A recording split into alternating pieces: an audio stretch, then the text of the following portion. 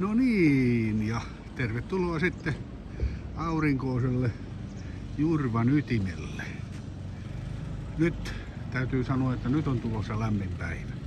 Voisin melkein veikata, että eli, eli tulla, tullahan tarkenemahan tuolla vausussa. Mutta siitä huolimatta odotetaan nälkäisiä asiakkaita. Pieni tuuli käy ja nyt se saa vaikka käydä kuinka vastahan. Pysyy vähän niin kuin vaunu ehkä raikkahampana.